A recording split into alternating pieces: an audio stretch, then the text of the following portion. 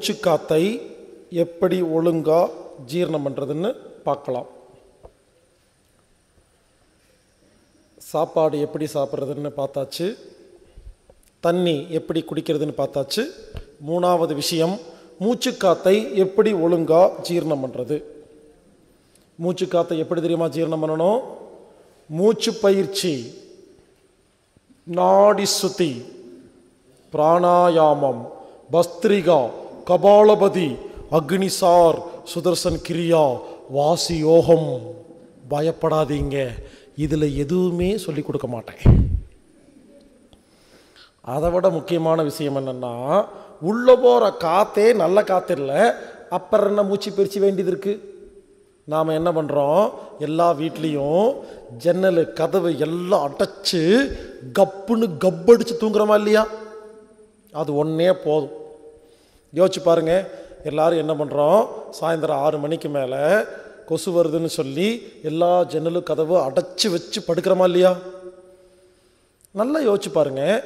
ஒரு வீட்டுக்குள்ளே பத்தடி பத்தடியில் எல்லாத்தையும் அடைச்சிட்டு படுத்தா புது காற்று உள்ளே வரதே இல்லையே.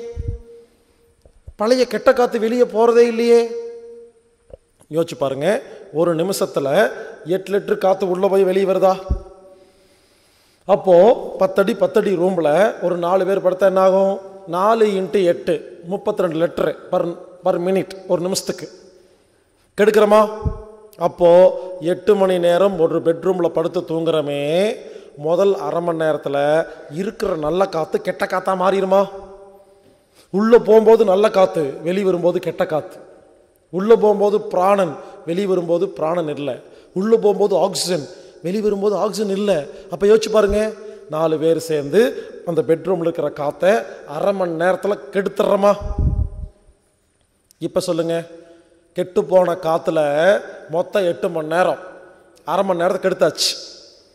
அடுத்த ஏழரை மணி நேரத்தில் நாம் கெடுத்த கெட்ட காற்றுலேயே ஏழரை மணி நேரம் படுத்திருந்தோம்னா நமக்கெல்லாம் ஏழரை நாட்டு சனி பிடிக்குமா பிடிக்காதோ? காத் சோ சோத்தை பற்றி கவலைப்படுறோம் காற்றை பற்றி கவலைப்படுறதே இல்லை. கவனிச்சுக்கோங்க காற்று ரொம்ப ரொம்ப முக்கியமானது. யாரெல்லாம் உங்கள் வீட்டில் ஜன்னல் கதவெல்லாம் அடைச்சி வச்சு கப்புன்னு கப்புடிச்சு தூங்குறீங்களோ அதுவே மிகப்பெரிய ஒரு தவறு. ஏங்க ஜன்னல் கதவை அடைச்சி வச்சு படுத்தாவே நல்லது இல்லைன்னு சொல்கிறேன்னு இல்லையா? சில பேர் அடைச்சி வச்சு கொசுவத்தி பேரை பற்ற வச்சு தூங்குவீங்க. நீங்கள்லாம் நல்லா இருப்பீங்க.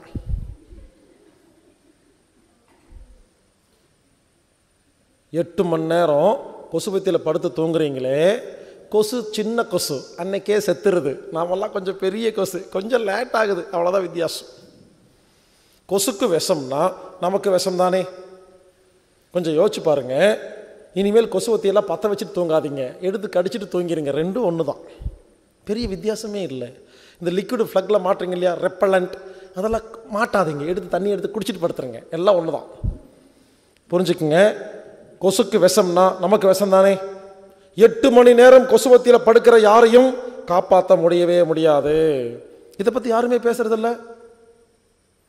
காற்றுக்கு என்ன பண்ணிக்கிறோங்கன்னு கேட்டால் எல்லாரும் சொல்கிறீங்க காற்றுக்கு ஃபேன் போட்டுக்கிறேன்னு. ஃபேன் என்ன பண்ணோம்? இருக்கிற கெட்ட காற்றை சுற்றி கொடுக்கும். ஃபேன் ஒன்று என்னைக்காவது ஃபேன் ஆக்சிஜன் சப்ளை பண்ணியிருக்கா?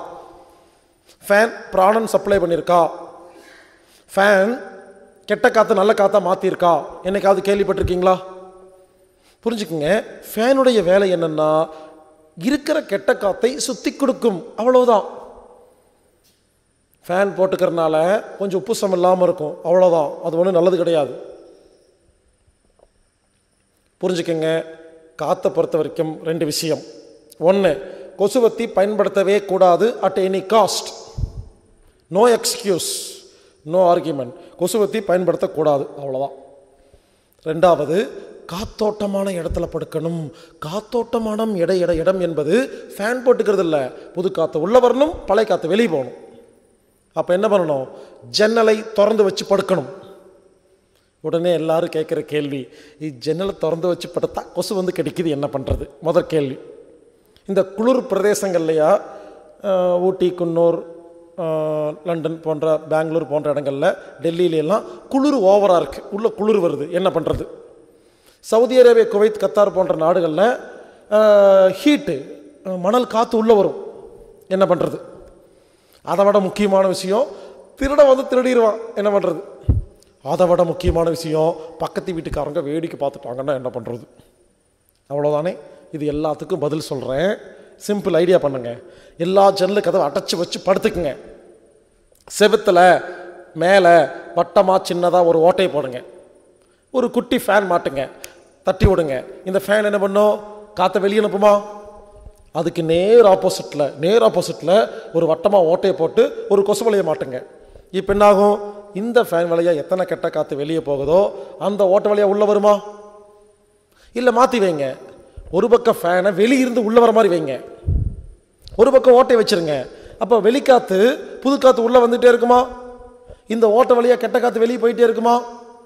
ஏதாவது பண்ணுங்க. ஆக மொத்தம் நல்லா கேட்டுக்குங்க. எப்போ ஒரு ரூமில் பெட்ரூமில் நான் ஏன் பெட்ரூம்னு ஸ்பெசிஃபை பண்ணி சொல்கிறேன்னா அங்கே தான் எட்டு மணி நேரம் படுத்திருக்கோம். இருந்தாலும் நான் சொல்கிறத ஆஃபீஸு ஸ்கூலு கிச்சனு ஹாலு எல்லாத்துலேயும் தான் மாற்றணும் இல்லைன்னு சொல்ல எதுக்கு பெட்ரூம் சொல்கிறேன்னா அங்கே தான் அதிக நேரம் இருக்கிறோம். புரிஞ்சுக்குங்க? எல்லா வீட்டு பெட்ரூம்லையும் ஹால்லையும் கிச்சன்லையும் காத்தோட்டத்தை பற்றி கொஞ்சம் கவலைப்படுங்க. எந்த வீட்டுக்குள்ளே போனாலும் கப்படிக்குது எல்லாத்தையும் அடைச்சி வச்சு படுத்துருக்கிறது. சில பேர் ஜன்னலே இல்லை வீட்டில் சில பேர் ஜன்னல் வச்சுருக்காங்க. திறந்தா பக்கத்து வீட்டு ஜன்னல் தெரியுது. எல்லாரும் என்ன பண்ணுறீங்க உங்கள் இடம் இருக்கு இல்லையா? உங்கள் இடத்துல கரெக்டாக பில்டிங் கட்டிடுவீங்க சுற்றி பில்டிங்கே இருக்காது. காத்தோட்டம் நல்லா இருக்கும். ஜன்னல்லாம் வச்சுக்குவீங்க. பக்கத்து வீட்டுக்கார் வருவார். உங்கள் வீட்டு செவத்துக்கு பக்கத்தில் வீடு கட்டுவார். ரெண்டு செவர் ஒட்டிகிட்ருக்கு ரெண்டு ஜன்னல் வச்சுருக்கீங்க. எதுக்கு இப்போ? சொல்கிறாங்களா இல்லையா? எல்லா பக்கம் பத்தடி கேப் விடுங்கன்னு சொல்கிறாங்களா இல்லையா கவர்மெண்ட்டில் ஏங்க பத்தடி கேப் விட்டால் எதுக்கு? காத்தோட்டம் இருக்கிறதுக்குங்க. சிட்டியில் பத்தடி கேப் விடுறதா? போப்பா. அப்படின்னீங்கன்னா அப்போ நோயோடு சுத்த வேண்டியது தான் இங்கே பாருங்க. காற்றை பொறுத்த வரைக்கும் ரெண்டு விஷயம். கொசுவத்தி பயன்படுத்தக்கூடாது. ரெண்டாவது புது காற்று உள்ளே வரணும் பழைய காற்று வெளியே போகணும். ஏதாவது ஒரு ஏற்பாடு பண்ணணுங்க. குளிர் பிரதேசங்களில் இந்த மாதிரி ஃபேன் வைக்க முடியாதுன்னு சொன்னீங்கன்னா ஒரு ஐடியா சொல்கிறேன் ஃபேனில் வைக்க வேண்டாம். இங்கே பாருங்க. சின்னதாக ஒரு ஒரு பாட் பாருங்க இவ்வளோதான் இந்த சைஸுக்கு சின்னதாக ஒரு ஓட்டை மட்டும் இருந்தால் போதுங்க. அதாவது ஒரு சின்ன கண்டிஷன் சொல்கிறேன் வெளி காத்துக்கும் நம்ம ஊர் ரூமில் இருக்கிற காத்துக்கும் ஒரு கனெக்ஷன் மட்டும் இருந்தால் போதும். ஏன் தெரியுமா? கெட்ட காற்று எப்பவுமே மேல் நோக்கி போகும். வெயிட் கம்மி. நல்ல காற்று குளிர்ச்சி. வெயிட் ஜாஸ்தி. கீழ் நோக்கி வரும். இந்த ரூமில் கெட்ட காற்று மேலே இருக்கும். நல்ல காற்று கீழ் இருக்கும் சரிங்களா? அப்போது நம்ம உடம்பில் இருந்து வரும் கெட்ட காற்று எப்பொழுதுமே மேல் நோக்கி போகும். போயிட்டு எங்காவது கேப்பு கிடைக்குதான்னு தேடிக்கிட்டே இருக்கும். சின்னதாக ஒரு கேப் இருந்தால் அது தானாக வெளியே போயிடும் அதுக்கு ஈக்குவலான நல்ல காற்று உள்ளே வந்துடும் ஆக மொத்தம் ரெண்டு விஷயம். கொசுவத்தியை பயன்படுத்தக்கூடாது. வெளிக்காத்துக்கும் நம்ம காற்றுக்கும் ஒரு கனெக்ஷன் இருக்கணும். வெயில் பிரதேசங்களில் ஃபேன் வச்சுக்கோங்க. குளிர் பிரதேசங்களில் ஒரு சின்ன ஓட்டையை மட்டும் ஒரு லிங்க் வச்சுக்கோங்க போதும். ஆக மொத்தம் காற்றை பற்றி கவலைப்படுங்க. இல்லையா? ஜன்னலை திறந்து வச்சு கொசுவலை அடிச்சுக்குங்க. இல்லையா? ஜன்னலை திறந்து வச்சு கொசுவலை வச்சு அதுக்குள்ளே போய் படுத்துக்குங்க. நான் என்ன பண்ணுவேன்? எப்போவுமே என்னோட பேக்கில் ஒரு கொசுவலை இருக்குங்க. நாலு கயிறு இருக்கும். நான் பாட்டுக்கு எடுத்துகிட்டு போயிட்டே இருப்பேன். ஏன்னா எங்கே பார்த்தாலும் கொசு இருக்குது. எங்கே போனாலும் எந்த இடத்த கொடுத்தாலும் சரிங்க எல்லா ஜன்னல் கதெல்லாம் திறந்து வச்சுருவேங்க. ஏன்னா காத்தோட்டம் வேணும். யோசிச்சு பாருங்க டெய்லி எட்டு மணி நேரம் பேசுகிறேன் ஜன்னல் கதை அடைச்சி வச்செல்லாம் படுத்துன்னு வச்சுக்கோங்களேன். காலை வந்துலாம் பேச முடியாது. நைட்டு நல்ல காற்றை சுவாச்சா தான் காலையில் பேச முடியும் என்னால். அப்போ என்ன பண்ணுவேன்? எல்லா இடத்துலையும் ஜன்னலை திறந்து வச்சிருவேன். நாலு கயிறு இருக்கா? ஒரு கொசுவலை இருக்கா? எங்கேயாவது நாலு இடத்துல மாட்டுவேன். நல்ல நீளமான கயிறு வச்சிருப்பேன். எங்கேயாவது மாட்டுவேன். படுத்து தூங்கிடும் முடிஞ்சு போச்சு. ரொம்ப சிம்பிள். ஒரு கொசுவில் இருந்தால் போதுங்க. எப்பேற்பட்ட கொசுவும் தப்பிச்சுக்கலாங்க. காத்தோட்டம் நேரத்தில் படுக்கலாங்க. யோசிங்க. நான் சொன்னது மட்டும்தான் ஐடியா இல்லை. நீங்களே யோசிங்க. கடைசி என்னென்னா கொசுவத்தி பயன்படுத்தக்கூடாது. புது காற்று உள்ளே வந்து பழைய காற்று வெளியே போகணும். நைட்டு ஃபுல்லாக நல்ல காற்றை சுவாசிச்சா தான் பகலில் ஆரோக்கியமாக இருக்க முடியும். ஏனென்றால் நைட்டு தான் உடம்பு ஆரோக்கியத்தை தன்னைத்தானே குணப்படுத்தி ஆரோக்கியமடையுது. இப்படி யாரெல்லாம் கொசுவத்தியில் படுக்கிறீங்களோ எப்படி கண்டுபிடிக்கிறது தெரியுமா? காலையில் எந்திரிச்சோன்னே உடனே யாருக்கெல்லாம் தும்மல் வருதோ என்ன அர்த்தம்? நைட்டு குப்பை காற்றுல படுத்திருக்கீங்க. காலையில் குப்பை உள்ளே இருக்குதா? கதவை திறந்து நல்ல காற்றை சுவாசிச்ச உடனே குப்பையெல்லாம் தும்மல் அப்படிங்கிற ஒரு சுரப்பி மூலமாக வெளியே தூக்கி வீசுது. இப்போ தும்மலுக்கு வைத்தியம் பார்க்கக்கூடாது. குப்பை காற்றுல படுக்காமல் இருக்கணும். யாருக்கெல்லாம் பகலில் மூக்கு ஒழுகு ஒழுகுன்னு ஒழுகுது சளி பிடிக்கும் சில பேர் சொல்லுவாங்க இல்லையா? சளி எங்கிருந்தா வருதுன்னு தெரியலிங்க. சளி வந்துக்கிட்டே இருக்குங்கம்பாங்க. குப்பை காற்றுல வேலை செய்கிறீங்க இல்லை குப்பை காற்றுல படுக்கிறீங்க? உங்கள் கம்பெனியில் குப்பை இருக்கும் காற்றுல நீங்கள் வேலை செய்கிற ஆஃபீஸில் குப்பை இருக்கும் காற்றுல அடைச்சி வச்ச ரூமில் இருக்கீங்க. அப்போது சளி வரத்தானே செய்யும்? இப்போ சளிக்கு வைத்தியம் பார்ப்பீங்களா? குப்பைக்கு வைத்தியம் பார்ப்பீங்களா? நைட்டு ரெண்டு முறை யாரெல்லாம் திடீர்னு எந்திரிச்சு யூரின் போயிட்டு வந்து தண்ணி குடிச்சிட்டு படுக்கிறீங்களோ பிரச்சனை கிட்னியில் இல்லை வேறு இதுலேயும் இல்லை. குப்பை காற்றுல படுத்துருக்கீங்க. இப்போ நான் சொல்கிற கேளுங்க. குப்பை காற்றுல படுக்கும் பொழுது என்ன ஆகும் தெரியுமா? அந்த காற்றுல ஆக்சிஜனே இருக்காதா? உடம்பு என்ன பண்ணு? தூங்கிட்டு இருப்பீங்க இல்லையா? ஆக்சிஜன் பத்தல. ஆக்சிஜன் பத்தல என்ன? என்ன பண்ணு தெரியுமா? உடம்பில் உள்ள தண்ணியில் உள்ள ஆக்சிஜனை இழுக்க ஆரம்பிச்சிடும் தண்ணிங்கிறது என்ன? H two O carbon sorry hydrogen oxygen நம்ம உடம்பு என்ன பண்ணும்? தண்ணியில் உள்ள ஆக்சிஜன் எடுத்து உயிர் வாழுங்க. அப்போ தண்ணி தீந்து போயிருமா? Urinary platter நிறைஞ்சிருமா? யூரின் வருமா? எழுப்போம். தம்பி எந்திரிப்பா. தண்ணி யூரின் போயிட்டு வந்து தண்ணி குடிச்சிட்டு பாடு. அப்படிங்கும் அந்த நைட் குடிக்கிற ரெண்டு தம்பர் தண்ணியில் தான் நைட்டு உயிரோட வாழ்ந்துருக்கீங்க. நல்ல காற்றுல படுக்கிற யாருக்கும் நைட்டு யூரின்லாம் வராது. படுத்தா காலைல தான் எந்திரிப்பீங்க. அதே மாதிரி உள்ளங்கால் குத்துது குடையுது எரியுது வலிக்குதுன்னு யாரெல்லாம் சொல்கிறீங்களோ உள்ளங்காலில் ஒரு வியாதி வந்தாவே குப்பை காற்றுல படுத்தா மட்டும்தான் உள்ளங்காலில் வரும். அதை சரி பண்ணால் தான் இது சரியாகும். ஆக மொத்தம் புரிஞ்சுக்குங்க. காற்றை பொறுத்த வரைக்கும் ரெண்டு விஷயம் தாங்க கொசுவத்தி பயன்படுத்தாதீங்க. காத்தோட்டமான இடத்துல படுங்க. யோசிங்க. என்னமோ பண்ணுங்க. நான் இந்தியாவில் பரவாயில்லைங்க. எங்கே போனாலும் எங்கேயாவது லாட்ஜில் வீட்டில் தங்கினா ஜன்னலெல்லாம் இருக்கும். திறந்து வச்சுக்கலாம். வெளிநாட்டில் போனால் ஜன்னலே இல்லை. எந்த லாட்ஜ்லேயும் எல்லாம் ஏசி போட்டு வச்சுருப்பாங்க. அங்கே என்ன பண்ணுறது என்ன பண்ணுறதுன்னு தெரியாதுங்க. ஆனால் அங்கேயும் நான் காத்தோட்டமாக படுப்பேங்க. யோசிப்பேன். இந்த ரூமில் இந்த லாட்ஜில் எப்படி படுத்தா காத்தோட்டம் வரும்னு யோசிச்சு அன்னைக்கு நைட்டு முடிவு பண்ணுவேங்க. பொதுவாக எப்படி பண்ணுவேன்னா பாத்ரூம்குள்ளே ஒரு எக்ஸாஸ்ட் ஃபேன் இருக்கும் எப்பவுமே. அதை தட்டி விட்டுருவேன். கதவை லேசாக திறந்து வச்சு படுத்துருவேன். இப்போ என்ன ஆகும் பாத்ரூமில் எக்ஸாஸ்ட் ஃபேன் வழியாக எவ்வளோ காற்று வெளியே போகுதோ கதை வழியாக உள்ளே வருமா? ஏர் சர்க்குலேஷன் இருக்கும். புரிஞ்சுக்குங்க? பெரிய வீட்டில் ஒரே ஒரு ஃபேன் வச்சா போதும். ஏர் சர்க்குலேஷன் உண்டு பண்ணலாம். எல்லா ஜன்னல் கதவை அடைச்சிருங்க. ஒரே ஒரு இடத்துல ஃபேன் வைங்க. எல்லா இதுக்கும் ஒரு சின்ன சின்ன ஓட்டை போட்டு விட்ருங்க அப்போ என்ன தெரியுமா? இந்த ஒரு ஃபேன் ஓடுறதுனால எல்லா ரூமு காற்று வெளியே போயிட்டே இருக்கும். இந்த மாதிரி யோசித்து கொஞ்சம் மூளைக்கு வேலை கொடுத்து உங்கள் வீடு ஆஃபீஸு ஸ்கூலு கிச்சன் பெட்ரூம் எல்லா இடங்கள்லையும் காத்தோட்டம் இருக்கிற மாதிரி செட் பண்ணி வைங்க. காத்து மருந்து. நல்ல காற்றுல படுத்தீங்கன்னா நாலு மணி நேரத்துக்கு மேலே தூக்கம் வரவே வராது. கெட்ட காற்றுல படுத்தீங்கன்னா எட்டு மணி நேரம் தூங்கினதுக்கப்புறமும் உடம்பு டயர்டாக இருக்கும். இப்போல்லாம் காலையில் எட்டு மணிக்கு எந்திரிச்சு எட்டு மணி தான் ஆச்சா? ம், இன்னும் கொஞ்சம் நேரம் தூங்கலாமான்னு தோணுதா இல்லையா? டயர்டாக இருக்குதா? ஏங்க எட்டு மணி நேரம் தூங்கி ஏங்க டயர்டு வருது? ஏன்னா படுத்துருக்கிறது குப்பை காற்று அதுலேயும் இந்த கொசுவத்தியில் படுத்து பாருங்க நல் சில பேர் சொல்லுவாங்க கொசுவத்தி பற்ற வச்சுக்கிட்டா நல்லா தூக்கம் வருதுன்னு. தூக்கம் வரல மயக்கம் போட்டு கிடக்குறீங்க. இந்த கொசுவத்தியோட விஷம் இருக்கு இல்லையா? அதில் அப்படியே மயங்கி போய் கிடப்பீங்க அப்படியே கிடப்பீங்க. ஒன்றும் தெரியாது. உண்மையிலேங்க கொசுவத்தி பற்ற வச்சாலும் கொசு கடிக்கத்தான் செய்யுது. என்ன தெரிய மாட்டேங்குது உங்களுக்கு?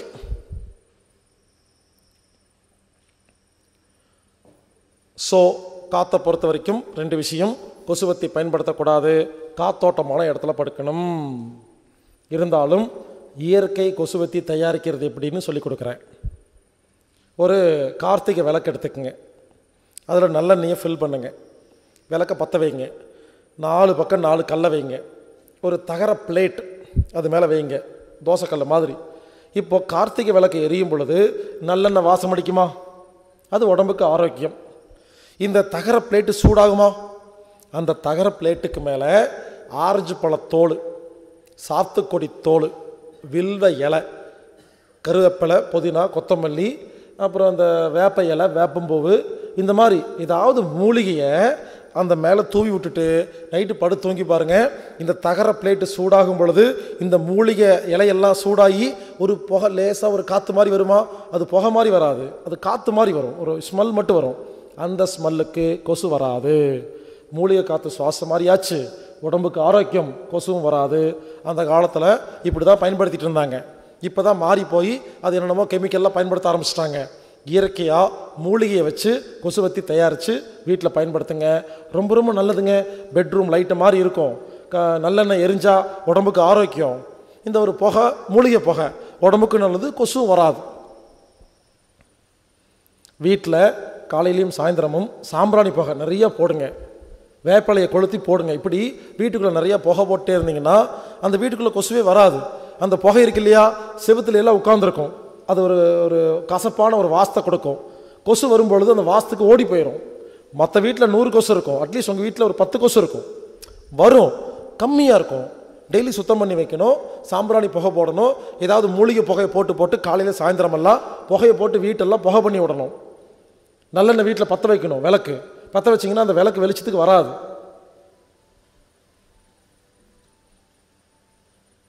அடுத்தது.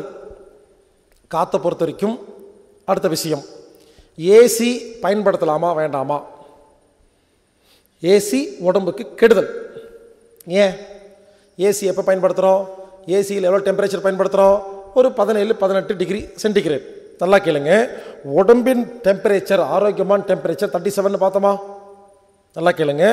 உடம்புடைய டெம்பரேச்சர் தேர்ட்டி செவன் அப்போது ஏசி ரூமுக்குள்ளே போகிறீங்க அதில் ஒரு பதினேழு டிகிரி வச்சுருக்கீங்க செவன்டீன் டிகிரி இப்போ சொல்லுங்கள் செவன்டீன் டிகிரி ஒரு கிளைமேட் காற்று வந்து நம்ம உடம்புல பட்டா உடம்புக்கு தேர்ட்டி செவன் டிகிரி இருந்த ஆரோக்கியமா? அப்போ என்னாகும் தெரியுமா? தோளில் உள்ள எல்லா செல்களும் பதினேழு டிகிரி டெம்பரேச்சரை முப்பத்தி ஏழாக மாற்றணுமா அப்போ எல்லா செல்லுக்கும் குளுக்கோஸ் தேவைப்படுமா?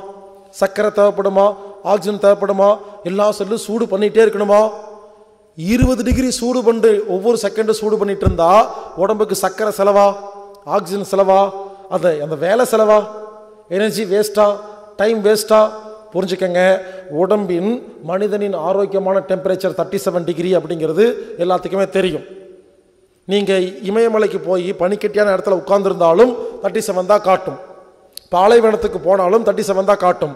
அப்போது உடம்பின் ஆரோக்கியமான டெம்பரேச்சர் தேர்ட்டி செவன் இருக்கும் பொழுது எதுக்கு பதினேழு டிகிரி டெம்பரேச்சரில் உட்காந்துட்டு நோயை ஏற்படுத்துறீங்க? ஏசியை ஏன் தெரியுமா பதினேழு டிகிரி வைக்கிறாங்க? அது ஒரு பெரிய கூத்து. Scotland London German England England France இங்கெல்லாம் போனீங்கன்னா டெம்பரேச்சர் எவ்வளோ தெரியுமா இருக்கும்? அஞ்சு டிகிரி பத்து டிகிரி ஜீரோ டிகிரி மைனஸ் பத்து டிகிரிக்கு போகும். அதெல்லாம் குளிர் பிரதேசங்கள். அங்கே இருக்குதாங்க இல்லையா? அங்கே இருக்கிறவங்க அவங்க வீட்டுக்குள்ளே ஒரு ஒரு ஏசி வச்சுருப்பாங்க. அதுக்கு பேர் என்ன தெரியுமா? ஹீட்டர் நம்ம தான் ஏசின்னு சொல்கிறோம் அவங்க ஊரில் ஹீட்டர்னு சொல்லுவாங்க. மைனஸ் இருபத்தி மூணு டிகிரி டெம்பரேச்சர் குழு குளுன்னு இருக்கிற பனிக்கட்டி இருக்கிற வீட்டில் ஊரில் ரூமுக்குள்ளே ப்ளஸ் பதினேழு வச்சாங்க. புரிஞ்சுங்களா? அதுக்கு பேர் ஹீட்டர் அந்த நாட்டுக்காரங்க நம்ம நாட்டுக்கு வந்தாங்களா? Tamil Nadu India Sri Lanka Singapore Malaysia Burma Thailand இந்த நாடெல்லாம் பார்த்தீங்கன்னா நல்ல பூமிங்க. செழிப்பான பூமி இந்தோனேஷியாலாம். ஆரோக்கியமான பூமி. ஏன் தெரியுமா? டெம்பரேச்சர் எந்த நாட்டில் இருபத்தி எட்டு முப்பது டிகிரி இருக்குதோ இந்த நாடு எல்லாமே வளமான நாடுங்க. அப்போது அந்த நாட்டுக்காரங்க இங்கே வந்தாங்க இல்லையா? வியாபாரம் பண்ணுறக்கு அவங்கெல்லாம் இன்னும் போகலை. இருக்கிறாங்க. அவங்க யாருங்கிறது சொல்கிறேன் அப்புறமா அவங்க இந்த நாட்டுக்கு வரும் பொழுது நம்ம டெம்பரேச்சர் அவங்களுக்கு ஒத்து வரலைங்க. நம்ம டெம்பரேச்சர் ஆரோக்கியமான டெம்பரேச்சர் இப்போ நம்ம சாதாரணமாக உட்காந்துருக்கோம் இல்லையா? இந்த டெம்பரேச்சர் இருந்தாவே உடம்பு ஆரோக்கியமாயிரும். அப்படி இருக்கும் பொழுது அவங்க நம்ம நாட்டுக்கு வந்து இந்த டெம்பரேச்சர் சூடாக இருக்குன்னு சொல்லி அவன் என்ன பண்ணா ஏசி மிஷினை மாட்டி ப்ளஸ் பதினேழு வச்சான் அவன் நாட்டில் இருக்கிற மாதிரி. நம்ம என்ன பண்ணோம்? அப்படியே காப்பி அடித்து யூஸ் பண்ணுறோம் எதுக்கு யூஸ் பண்ணுறோம் ஏன் யூஸ் பண்ணுறதில்ல காசு கிடச்சா போதும் ஏசி எடுத்து மாட்டிக்கிறது. ஓசியில் ஏசி கிடச்சா ரெண்டு பாயிண்ட் கம்மி பண்ணுறது ஆஃபீஸில் இதில் வேறு கோட்டெல்லாம் போட்டுட்டு இன்னும் கொஞ்சம் கம்மி பண்ணு. இதில் ஒரு காமெடி என்னென்னா பெரிய பெரிய பஸ் இருக்கு இல்லையா? ஏசி பஸ்ஸு அதிலெல்லாம் போகிறீங்க இல்லையா? சாதாரண பஸ்ஸு ஐநூறுரூபாங்க ஏசி பஸ்ஸு ஆயிரத்து ஐநூறுரூபா அதில் ஒரு காமெடி நடக்கும் பாருங்க. குழு குழுன்னு ஏசி போட்டுட்டு எல்லாம் கம்பளி போத்தி குழுகுன்னு நடுக்கிட்டே போவாங்க. எதுக்கு அவ்வளோ கடுப்பு? ஏசியில் போகிற எது கம்பளி போற்றிட்டு போகிற அப்போ கடுப்பாக இருக்குன்னு தெரியுதா இல்லையா? ஒரு பந்தா. நான் ஏசி ரூமில் ஏசி பஸ்ஸில் போனேன். எதுக்கு போகிறோம் ஏன் போகிறோம் தெரியல. புரியல. புரிஞ்சுக்குங்க. ஏசி உடம்புக்கு கெடுதல். ஒருவேளை ஏசி பயன்படுத்துகிறதா இருந்தால் இங்கே பாருங்கள் ஏசி எந்த ஊரில் பயன்படுத்தினோம்னா Saudi Arabia Kuwait Qatar Bahrain போன்ற நாடுகளில் போய் பாருங்கள் அங்கெல்லாம் ஹீட் கண்ட்ரி அங்கெல்லாம் சாதாரணமாக ஏசி இல்லாமல் இருக்க முடியாது. அதே மாதிரி குளிர் கண்ட்ரி இருக்கு இல்லையா? அங்கே குளிராக இருக்கும். ஸோ நார்மல் டெம்பரேச்சர் இல்லாத ஊர்களில் தான் ஏசி பயன்படுத்துகிறோமே தவிர நம்ம போல் நார்மல் டெம்பரேச்சர் இருக்கிற ஊர்களில் ஏசி தேவை இல்லை ஒருவேளை ஏசி பயன்படுத்துகிறதா இருந்தால் சில ரூல்ஸ் சொல்கிறேன் அந்த ரூல்ஸ் பிரகாரம் பயன்படுத்திக்கங்க.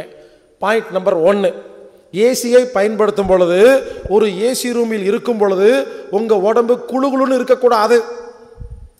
ஹீட்டாகவும் இருக்கக்கூடாது. ஏன்? குளுகுளுன்னு ஏசி ரூமில் இருந்தால் என்ன தெரியுமா அர்த்தம்? உடம்பு குழுகுலுன்னு இருக்குன்னு சொல்லுதா? அப்போ என்ன அர்த்தம்? உடம்பு இந்த டெம்பரேச்சர் எனக்கு ஒத்து வரல குழுகுலுன்னு இருக்குன்னு சொல்லி சூடு பண்ணிட்டுருக்குன்னு அர்த்தம். ஏசி ரூமில் இருக்கும் பொழுது சூடாக இருந்ததுன்னா என்ன அர்த்தம்? உடம்பு குளிச்சு பண்ணிருக்குன்னு அர்த்தமா? சொல்கிறேன் கேளுங்க. ஏசி ரூமில் இருக்கும் பொழுது குளுகுளுன்னு இருக்கக்கூடாது சூடாகவும் இருக்கக்கூடாது.